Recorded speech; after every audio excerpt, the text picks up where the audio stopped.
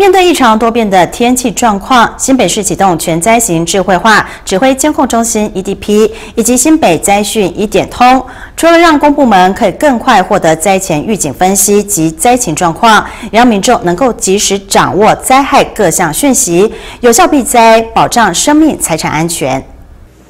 随着气候变迁，极端的天气状况常让人措手不及。为了能够更精准地掌握防救灾讯息，新北市启动全灾型智慧化指挥监控中心 （EDP） 以及新北灾讯一点通。新北市政府指出，每当灾害来临，民众最常遇到的就是讯息混乱，不知道灾况，不知道去哪避灾等等。八月上线启用的新北灾讯一点通，整合了多方防救灾资讯平台，提供民众息息相关。的停班、停课、停水、停电、灾时交通、封桥、封路、环境、医疗、活动、异动等六项灾害及时讯息，并且运用 GPS 功能，客制化防灾资讯，提供使用者所在区域两公里范围周遭灾况视觉化资讯，让民众只要在手机上轻松一点，就能够立即获知各种灾讯，有效的避灾，远离灾害。另外，由于新北市幅员广，辖内有百分之八十八的面积属于山坡地，